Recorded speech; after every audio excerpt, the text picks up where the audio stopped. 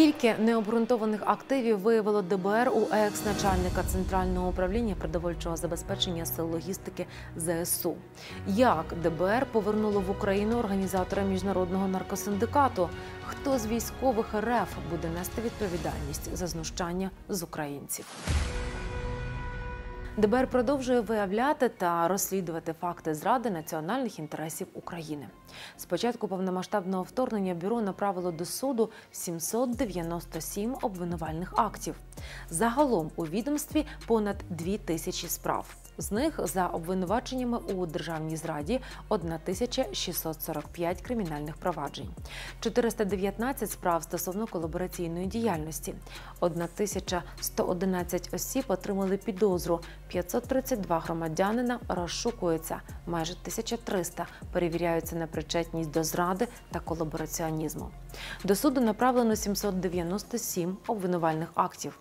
Чекаємо вироків і нагадуємо, що відповідальність за зраду сувора та невідворотна. Також ДБР не залишає поза увагою й воєнні злочини росіян в Україні. Так, на цьому тижні підозру в порушенні законів та звичаї війни оголошено чотирьом військовим з Бурятії, які катували мешканців Київщини. Слідчі ДБР встановили, що військовослужбовці 37-ї мотострілецької донської бригади та 36-ї загальновійськової армії Східного округу село Кяхта, Республіка Бурятія. На початку березня 2022 року облаштували в Бучанському районі так званий ізолятор тимчасового утримання.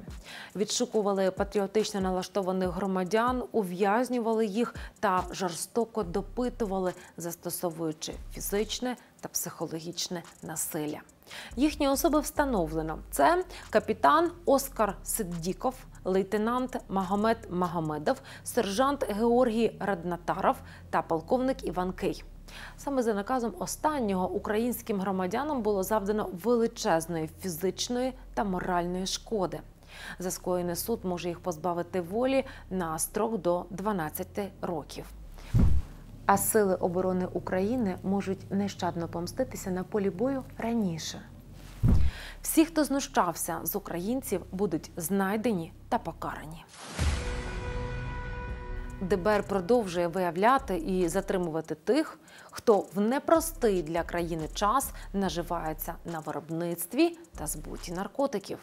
Раніше ми розповідали про злочинну організацію, яка діяла під прикриттям правоохоронців і постачала метамфетамін та інші психотропні речовини до країн Європейського союзу у величезних розмірах. Тільки уявіть, ДБР вилучило під час обшуків 300 кілограмів дурману та понад 200 мільйонів гривень. Семеро учасників угруповання було затримано одразу, а деяким певний час вдавалося переховуватися від слідства. Наприклад, в Румунії хотів перечекати один із керівників цього наркосиндикату. Втім, ДБР швидко його знайшло. Звернулося з клопотанням до румунських правоохоронців, які його затримали і передали підозрюваного на міжнародному пункті пропуску Порубне Сірет представникам бюро розслідувань. Наразі підозрюваний у створенні злочинної організації та збуті наркотиків перебуває під вартою без права внесення застави. Досудове розслідування триває. Скоїв злочин, будь готовий нести відповідальність. Перед судом постане посадовець територіального центру комплектування Запоріжжя, який незаконно вилучав автівки в підприємства на початку повномасштабного вторгнення. Мобілізація транспорту дійсно входила до його повноважень, але посадовець обирав машини на свій смак. Зафіксовано, як він прийшов на автомобільну стоянку, де не було власників фірми, і мобілізував ті ключі, від яких були у охоронця. А це чотири вантажівки та мікроавтобус загальною вартістю майже 11 мільйонів гривень.